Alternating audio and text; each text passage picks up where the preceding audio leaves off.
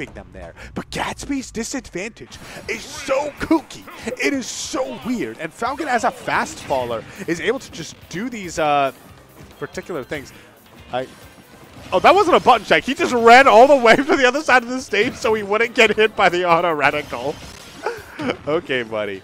Um, but now we'll see if my theory is proven correct, whether or not Cee can actually consistently put Cee in the uh, put Gatsby in the corner and keep him there. Oh, that was a fantastic auto reticle, just calling out that empty jump.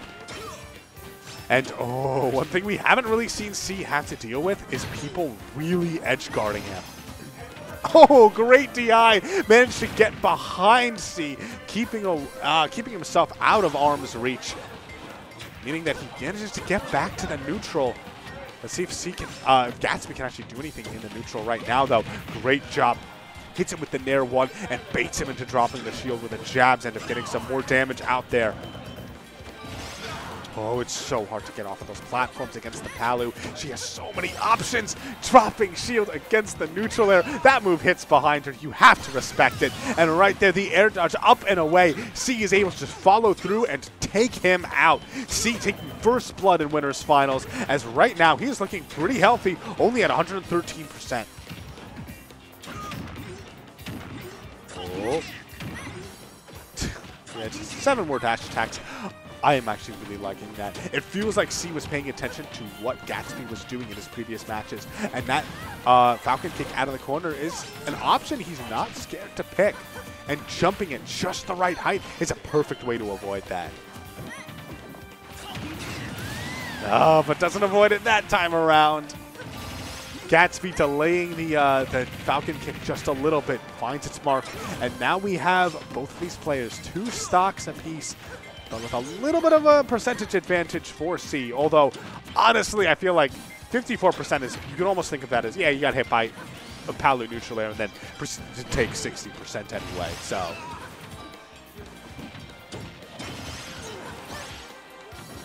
Okay. See, yeah, like he's just getting out of the corner in ways that we other players just haven't been able to do. Oh, what a read. I love the coverage from that, actually. The only thing in that position that I think would have helped him would have been tech roll away to the other side.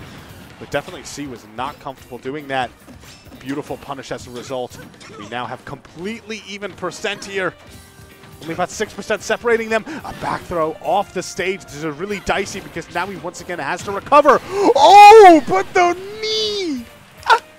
I, I feel vindicated because I was I was like Gatsby, his disadvantage is just too weird. Players who rely on really keeping players in disadvantage tend to struggle against Gatsby for that reason. And we're seeing that in effect right here. How many times does see like Finn on the ledge, and he's the one who's died all the way across the stage like that.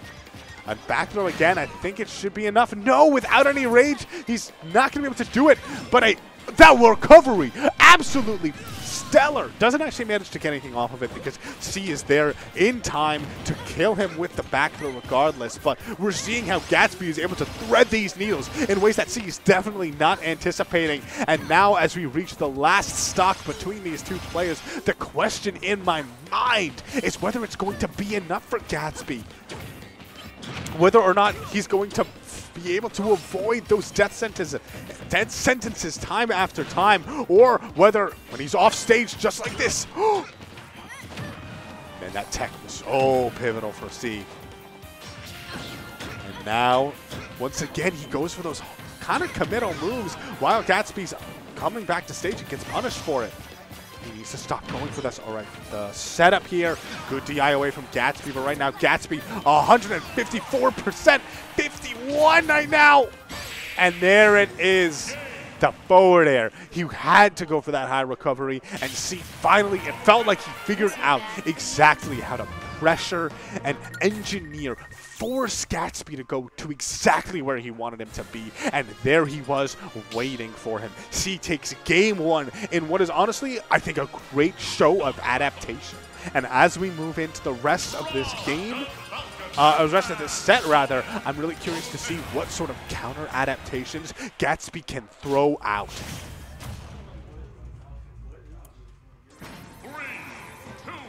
Yeah, like Gatsby, uh, here's the thing. He, he needs to get weirder. He just needs to go, he needs to embrace the madness.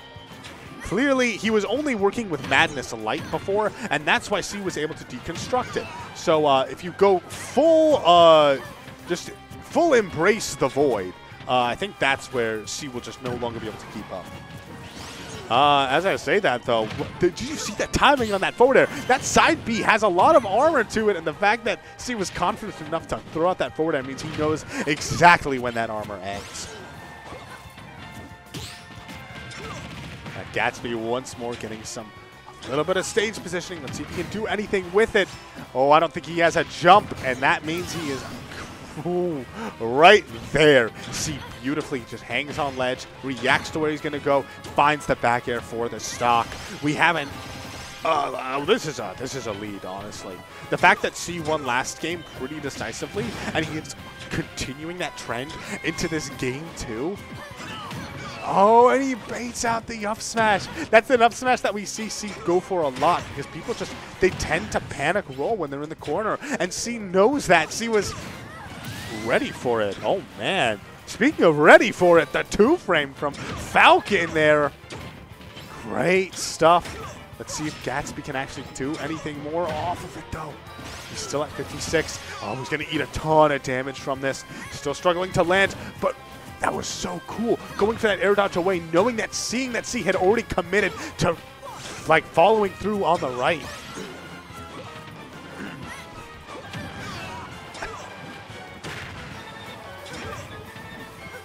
All right, we have things kind of slowing down just a little bit. Right as I say that, another grab happens.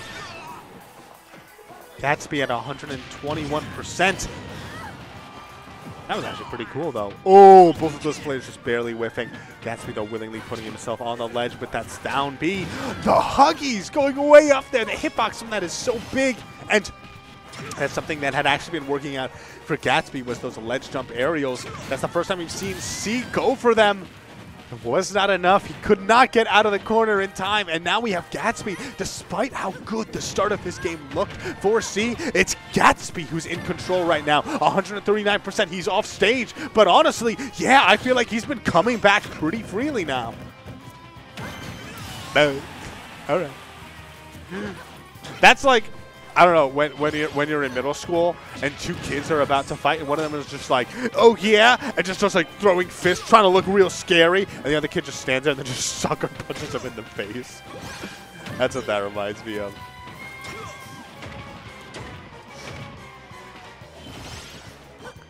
Man, you saw right there. That's actually pretty cool. See, he didn't. You notice he did not panic that neutral air. He waited. He got out of hit stun and punishing those high recoveries. That's it. A game two for Cee. He only needs one more, and then he's going to be in grand finals on the winner's side of things. Gatsby needs to do some fundamental uh, restructuring of his play because he's just.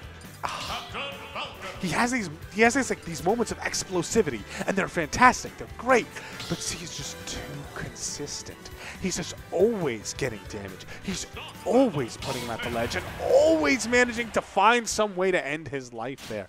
So as we move into game three where it's kind of do or die for Gatsby, yeah, it takes him back to uh, very curious that I know that earlier Nintendo was saying that he can't believe that people let Gatsby go here, but yeah, you already seen that Cee is uh, more than comfortable being able to abuse this stage himself. Oh, no jump. Oh, he wanted that down air. If that down air connected, that would have been a dead Gatsby. And probably, honestly, that would have secured Cee's spot in the grand finals. But uh, as it stands, Cee not able to close that out. Gatsby's now the one in control, managing to do a ton of damage off of that early knee. Oh, and speaking of knees, oh, that air dodge coming in so clutch for Cee. He's at 100% though. I like that. He went for that. I feel like he timed that down tilt specifically so that he had enough time to escape and avoid a knee if that's what uh, Gatsby tried to go for again.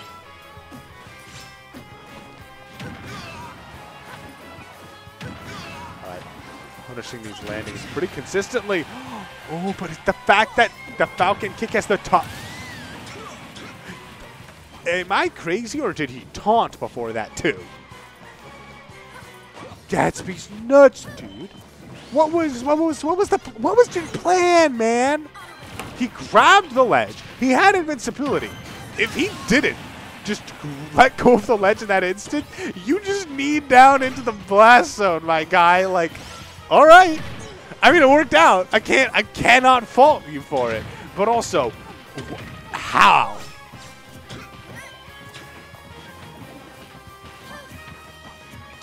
All right, but regardless, doesn't matter because things are evened up pretty quickly. Both of the players now in the 40s here.